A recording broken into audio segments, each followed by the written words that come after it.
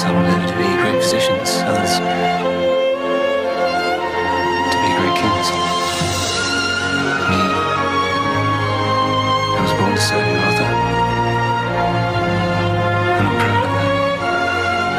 And I wouldn't change a thing. You have